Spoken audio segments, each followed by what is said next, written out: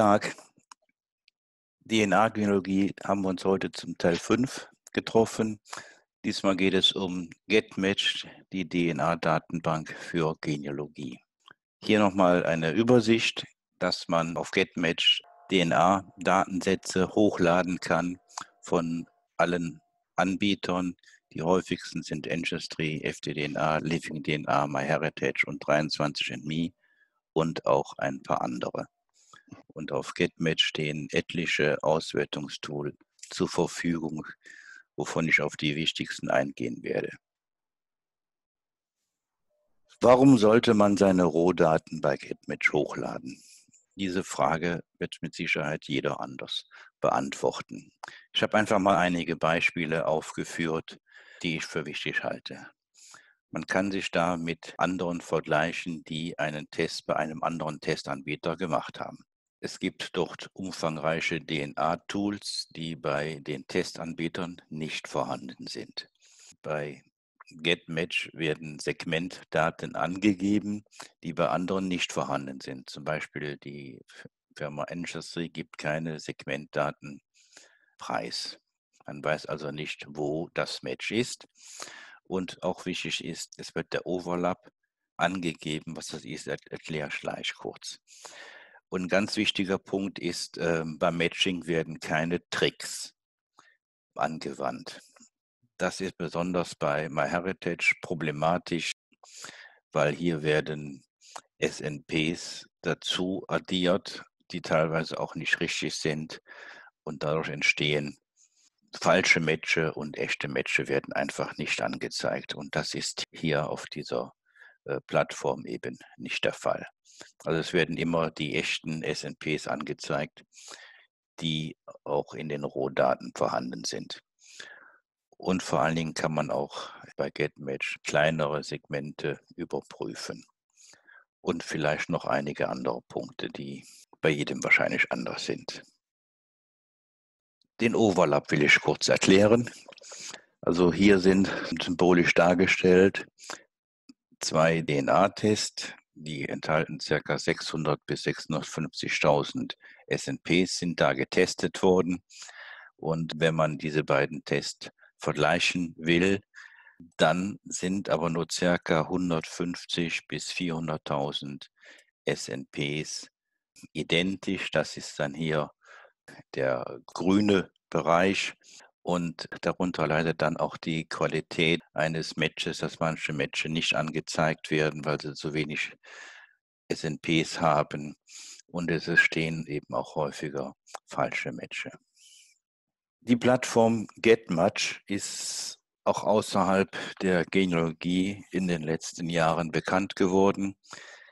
Ich bezeichne das einfach mal als Aktenzeichen XY ungelöst mit DNA.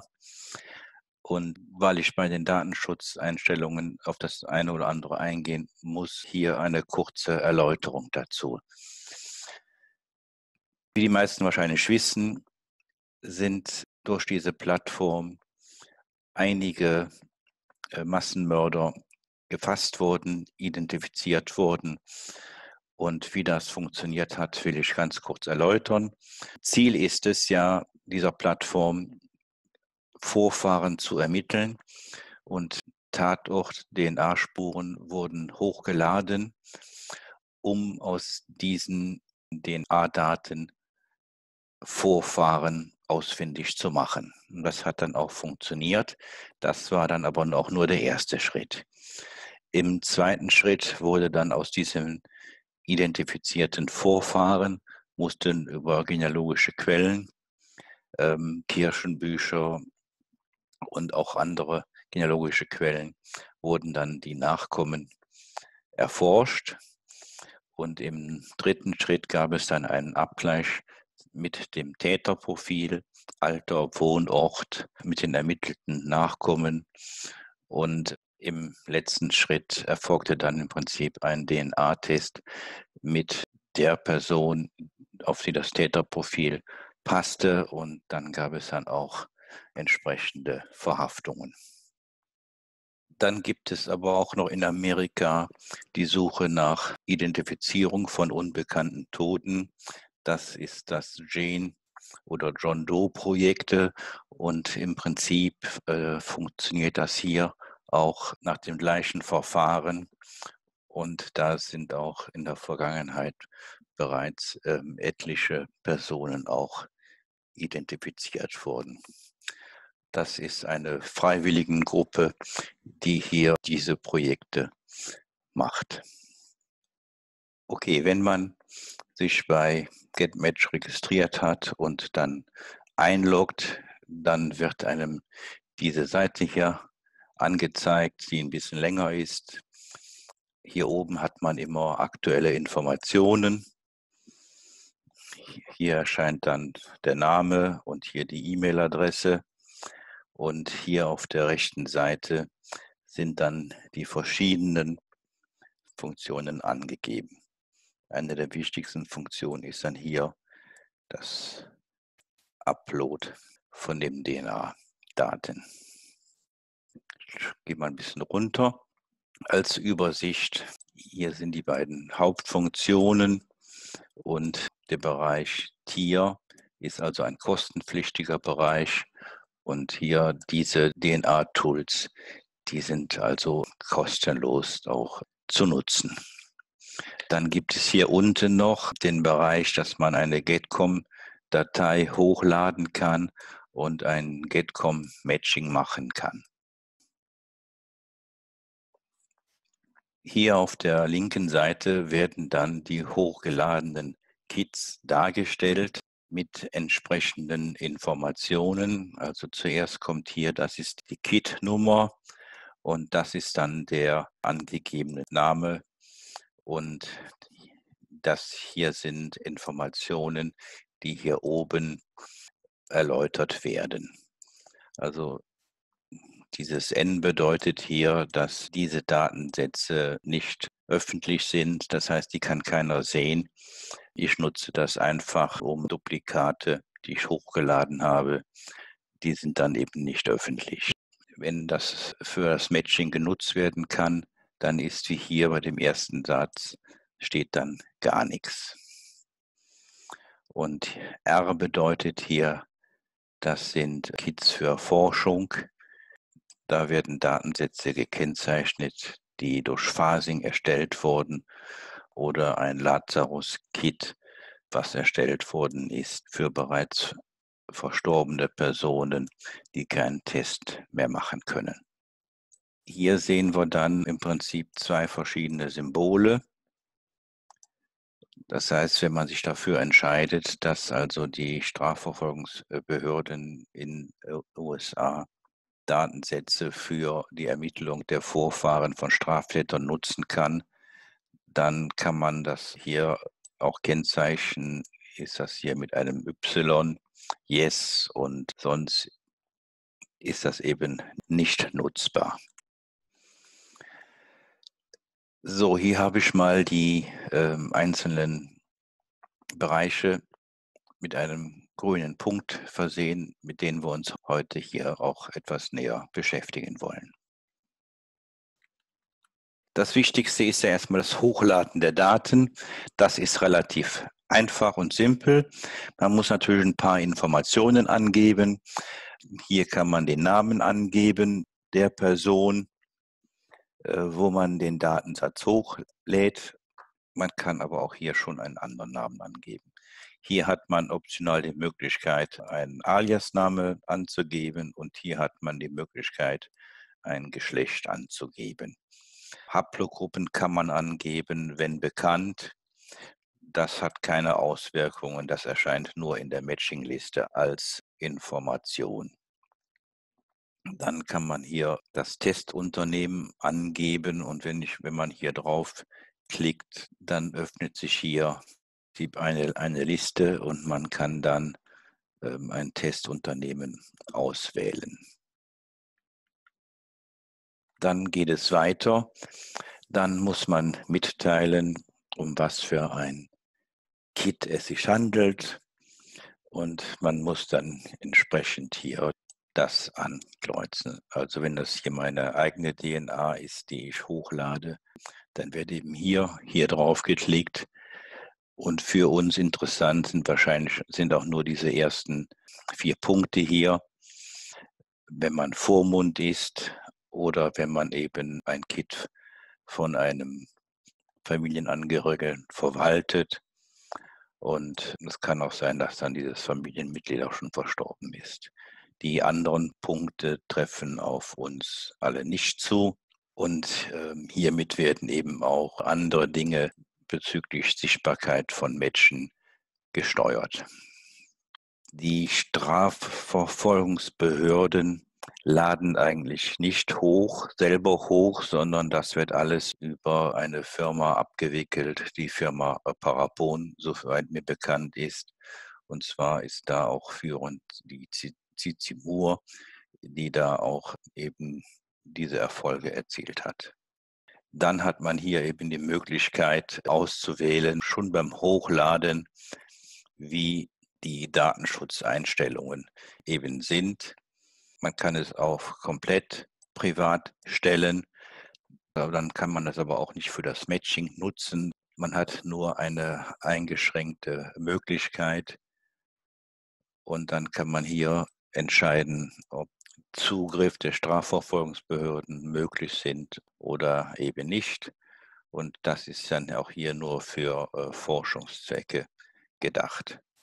Dann wählt man hier einfach die Datei aus und man startet den Upload. Und das geht dann relativ einfach. Und äh, nach fünf Minuten ist dann auch der Upload durchgeführt. Und ähm, dann dauert es nochmal circa acht Stunden, bis dann auch Matchinglisten vorhanden sind und einzusehen sind. Denn es muss ja ein Vergleich mit allen Kits erfolgen, die bereits in der Datenbank vorhanden sind. Und hier haben wir einen Bleistift, den man anklicken kann. Und da hat man eben zu jedem Kit, kann man hier verwalten. Und hier unten in dem Bereich hat man also diese Einstellungen, die man beim Hochladen gemacht hat, werden dann hier gezeigt. Und hier hat man also die Möglichkeit, das auch zu ändern.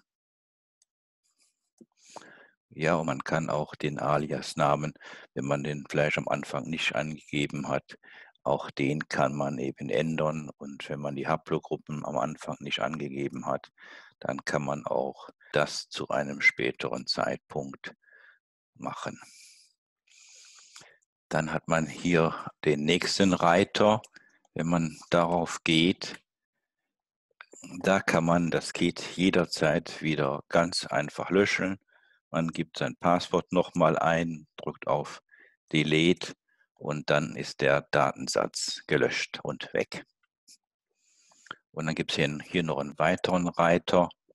Hier kann man im Prinzip einen hochgeladenen Test an einen anderen weitergeben. Das heißt zum Beispiel, wenn man für einen Familienangehörigen den Test hochgeladen hat und jetzt hat er auch Interesse, sich da mehr mit zu beschäftigen, dann kann man dieses hochgeladene Kit dann an seinen Account im Prinzip weiter transferieren. Und das geht auch relativ einfach, indem man hier die E-Mail-Adresse unter dem das Konto geführt wird und das Passwort und dann wird das bei einem selber rausgenommen und in ein anderes Konto ist es dann da sichtbar.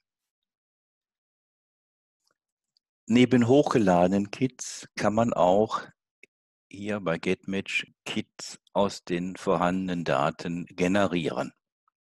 Und das will ich als nächstes kurz erläutern, wie man zum Beispiel einen gefassten Datensatz erstellen kann. Erforderlich ist hierfür, dass man von einem Kind und von mindestens einem Elternteil muss man ein Kit haben. Und hier mit Select wird dann ausgewählt, welches Kit das sein soll. Das bedeutet aber auch, man kann nur diese Funktion nutzen für Datensätze, die im eigenen Account sind. Sonst mit anderen Datensätzen kann man das eben auch aus Sicherheitsgründen einfach nicht machen. Und es werden dann zwei neue Datensätze, zwei neue Kits erstellt, die dann differenzieren am Ende mit P1 und M1, also paternal, also der Vater, und M1 ist also maternal, die Mutter. Das sind dann gefasste Datensätze der beiden Eltern, die dann erstellt werden.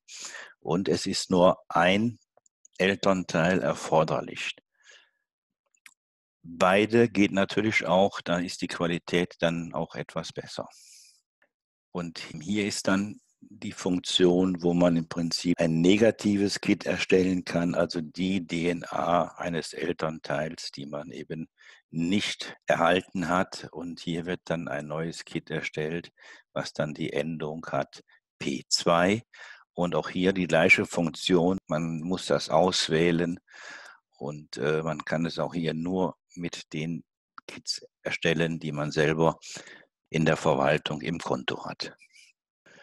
Und eine dritte Möglichkeit bei GetMatch ein Kit zu generieren ist, dass man mehrere Tests, die man gemacht hat, zu einem ähm, Kit, hier wird es als, als Super-Kit bezeichnet, zusammenfassen kann. Denn es gibt ja doch etliche, die haben nicht nur bei einem Testunternehmen einen Test gemacht, sondern eben bei Ancestry und bei Living DNA und bei FTDNA. Und das kann man dann auch hier jeweils immer auswählen. Und dann wird eben ein DNA-Datensatz erstellt, der eben die Daten dieser verschiedenen Tests beinhaltet. Das hat also den Vorteil, dass man beim Matching ähm, einen wesentlich höheren Overlap hat gegenüber den Matchpartnern und damit eben auch bessere Ergebnisse erzielt. Und auch dieses Kit ist dann zu erkennen und hat dann die Endung C1. So sieht dann eine Liste aus, nämlich One-to-Many. Also hier einer wird mit vielen verglichen.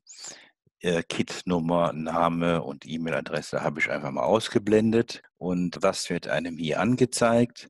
Hier wird einem das größte Segment angezeigt in Centimorgen. Und hier wird angezeigt, wie viel Centimorgen es insgesamt sind. Dann wird der ermittelte Generationsabstand angezeigt und eben wann dieser Match ermittelt worden ist, also wann der andere seine Daten hochgeladen hat. Und hier wird das Testunternehmen angegeben und hier wird der Overlap angegeben.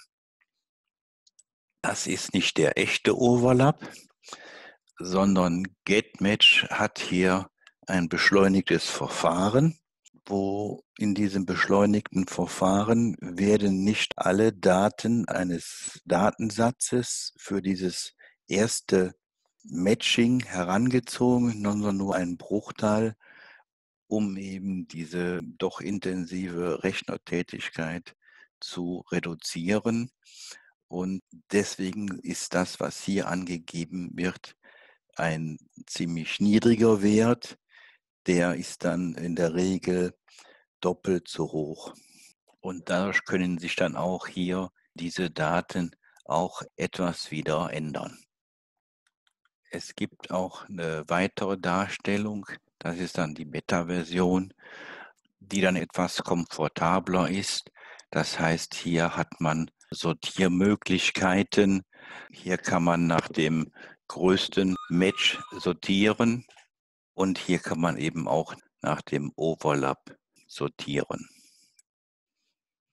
Weiterhin kann man hier Einstellungen vornehmen, wie hoch der Overlap ist und welche Segmente angezeigt werden. Und hier ist voreingestellt, dass nur 500 Matches angezeigt werden.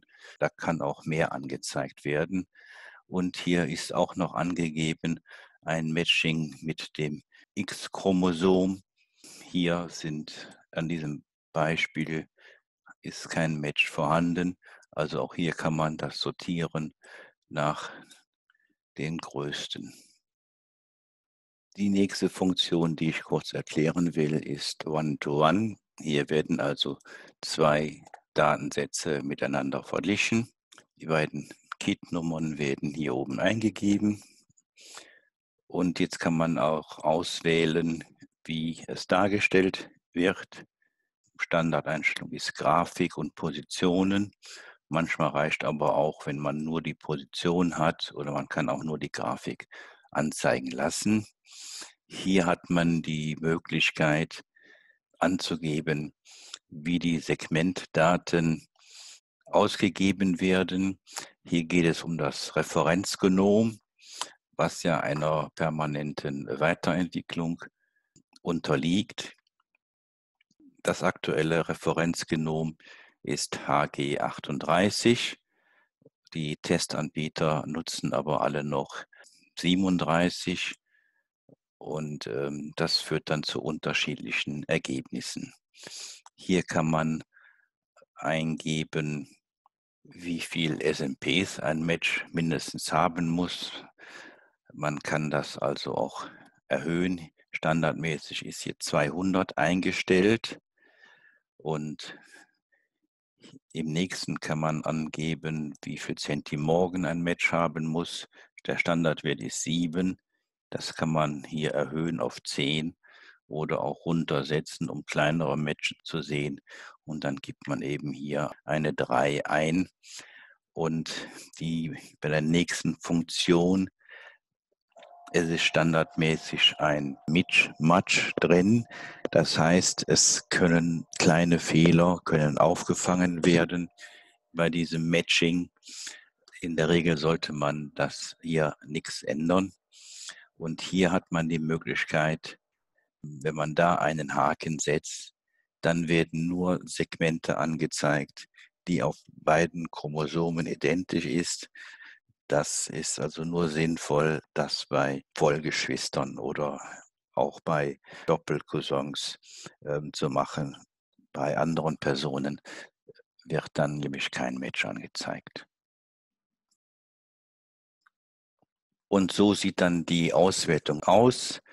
Angezeigt werden hier die, die Chromosomen, hier werden die Positionen von bis angezeigt. Und B37, also die Daten entsprechen dem Referenzgenom 37.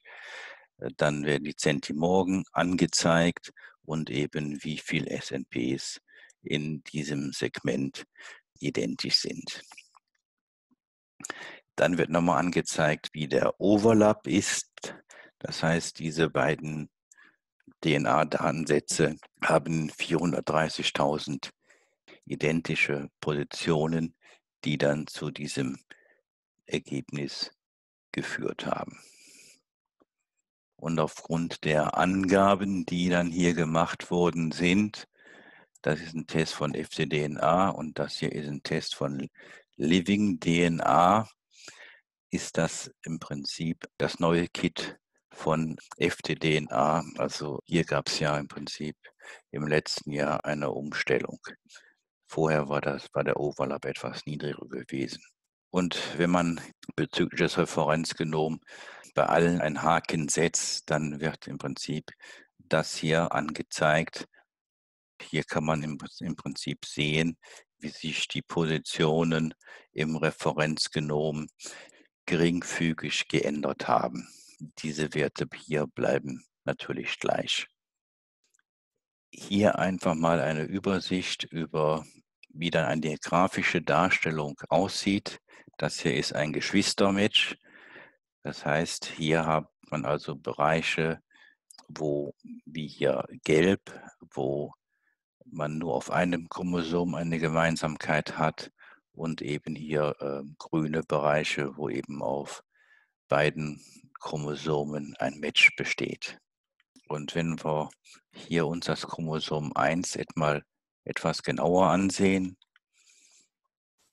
dann ist hier die Darstellung bei der halbidentischen Region etwas anders, als wenn hier nur die vollidentische Region angezeigt wird. Das heißt, dann entsteht nur hier der Match Und diese Segmentdaten sind vorhanden und dann ist eben hier auch noch ein kleines Match vorhanden, was voll identisch ist. Und zur Erläuterung dann hierzu der gefasste Datensatz, väterlich und mütterlich. Und dann kann man sehr gut erkennen, dass dieses kleine Match dadurch entstanden ist, weil es hier eine kleine Überlappung gibt auf den väterlichen und auf den mütterlichen Chromosomen. Und hier in, hier in diesem Bereich gibt es also eine äh, sehr, sehr große Überlappung, die dann auch hier zu diesem sehr hohen äh, Match als voll identische Region ist. Eine andere schöne Funktion bei GetMatch ist, Personen, die mit beiden Kits ein Match haben. Dazu gibt man hier im Prinzip zwei Kits ein. Ich habe das einfach mal mit meinem und mit einem Cousin ersten Grades gemacht, so dass dann ermittelt wird, Matches, die wir beide haben. Also kann man die auch dann entsprechend äh, zuordnen, da das ein mütterlicher, ein Cousin über die mütterliche Linie ist, kann also dadurch die Zuordnung auf mütterliche Seitenverwandte ermittelt werden. Hier kann man die Höhe des Matches eingeben. Das habe ich mal bei 10 zugelassen. Und wenn man dann das startet, dann kommt dann hier diese Auswertung raus. Hier habe ich einige Daten einfach mal weggelassen. Aber dann wird dann einfach gezeigt, wie hier bei diesen beiden Personen, wie sie eben gemeinsame Matches haben. Hier bei knapp 30 und der Gesang hat dann nur 23 und dann gibt es hier eben eine ziemlich lange Liste, die dann ähnliche Daten hat, wo dann immer angezeigt wird, wie unterschiedlich da die Datensätze sind. Und das geht dann runter bis 10 Centimorgen, weil das war die Einstellung, die wir eben gewählt haben. Die Liste wird dann fortgesetzt nur auf eine Person, wo dann der andere kein Match hat. Und das hat dann bei mir ergeben, dass dann die Datensätze, die dann auf der väterlichen Linie sind, wurden dann auch richtigerweise hier in diese Liste gepackt, denn der mütterliche Cousin hat ja da mit denen keine gemeinsame DNA. Relativ neu bei GetMatch ist das Projekt. Hier wird nach Regionen wird dargestellt und ist ein Matching möglich. Das wird auch teilweise durch ehrenamtliche Personen, die dann eben so ein Projekt gegründet haben. Und wenn man da reingeht, dann kann es dann passieren, wie ich selber dann festgestellt habe, dass ich erstmal hier aufgefordert werde, über ein Projekt zu entscheiden, ob ich da mitmachen will oder nicht. Da werden dann von dem Administrator dieser Gruppe bin ich wohl eingeladen worden und habe jetzt die Möglichkeit, diesem Projekt beizutreten oder eben abzulehnen oder eben gar nichts zu machen. Und dann, wenn ich diese Fragen beantwortet habe, dann verschwindet dann dieser Eintrag hier bei mir. Und dann kommt man im Prinzip dann nach, nachfolgend zu dem Projekt, wo man im Prinzip hier eine Analyse machen kann. Ich kann also dann auswählen aus den Projekten, äh, wo ich beigetreten bin, da eine Analyse zu stellen. Der Vorteil ist hier eben, dass in diesem Bereich wesentlich weniger Personen diesem Projekt beigetreten sind und man kann dann dadurch auch äh, kleinere Segmente analysieren, weil ja auch durch die gemeinsame Region hier die Wahrscheinlichkeit einer Verwandtschaft wesentlich höher gegeben ist. Das heißt, man kann also hier seine KIT-Nummer eingeben man kann dann hier das auf Standard lassen, Segmente über sieben Zentimorgen. Man kann das auch reduzieren auf sechs oder fünf. Und das ist dann der Zentimorgenwert, der höchstens berücksichtigt wird. Den kann man auch reduzieren, zum Beispiel auf 10. Dann werden Matches über 10 Zentimorgen nicht angezeigt. Dadurch werden dann nahe Familienangehörige nicht in diesen Matching-Prozess mit einbezogen. Man kann das dann hier auch auf äh, einzelne Chromosomen beziehen. Man kann das, das X-Chromosom, also Chromosom 23, kann man ausschließen, wenn man hier einen Haken setzt. Und man kann also auch bestimmen, wie dann diese Liste hier sortiert wird. Ob eben nach, nach Kit-Nummern oder eben auch nach der Größe oder eben nach Segmenten. Und so sieht dann diese Liste aus, die dann angezeigt wird. Auch hier habe ich wieder diese Daten herausgenommen und die Liste ist dann relativ lang. Hier wird also angegeben das Chromosom, die Position, Start und Ende und die Zentimorgen, wie hoch das einzelne Match ist in SNPs. Und hier wird auch der Overlap der beiden Kits angegeben, die eben verglichen werden. Und hier werden überwiegend Kits einbezogen mit einem hohen Overlap. Und hier kann man dann auch gut schauen, ob man dann durch Kontaktaufnahme gemeinsame Vorfahren hat. Und ja, wenn man dann äh, zu so einem Projekt äh, mehr als ein Kit registriert hat, dann erscheint man natürlich auch dann hier noch ein weiteres Mal in dieser Liste. Wenn man dann weiter nach unten geht auf der Seite, erscheint dann eine sehr, sehr lange Liste. Ich habe einfach hier mal da so einige Beispiele rausgesucht. Also hier gibt es sehr viele Projekte auf Deutschland bezogen. Es gibt dann hier ganz rechts noch eine weitere Spalte, wo noch Informationen stehen wie E-Mail-Adresse oder, oder eine Internetseite. Auf jeden Fall sieht man hier regionale Projekte Berlin-Brandenburg, Baden-Württemberg, Niedersachsen und Pommern, Rheinland, Saarland, Schleswig-Holstein. Und es gibt noch etliche andere Projekte im Bereich Deutschland. Und Ukraine habe ich einfach mal aufgeführt, denn das ist ja, hier ist die Westukraine gemeint, was ja früher Polen oder Österreich-Ungarn war. Und da gab es ja auch viele deutsche Besiedlungen. Und wenn man so einem Projekt beitreten will, dann muss man nur hier diese Taste drücken, Join. Dann erscheint dann die nächste Seite hier, wo man im Prinzip dann bei diesem Administrator eine Teilnahme beantragt. Und das sollte man auch schon begründen. Hier einfach mal die Übersetzungen. Man sollte schon begründen, dass man im Prinzip Vorfahren in diesem Bereich hat. Denn es gibt leider viele Amerikaner, die einfach nur in die Gruppen wollen, aber gar nicht so richtig wissen, aus welchem Bereich von Preußen sie Vorfahren haben. Hier wird dann angegeben die Kit-Nummern und da kann man dann auswählen, in welchem Kit-Nummer die, man diesem Projekt beitreten will. Und dann mit Submit und dann kann es dann eine Zeit lang dauern, bis dann der Administrator einen freigeschaltet hat für dieses Projekt, für diese Gruppe. Gehen wir zum nächsten Punkt, wo man eine Art ähm, Identitätsschätzung ähm, auswerten kann bei GetMatch einfach mal nachfolgend der Fahrt.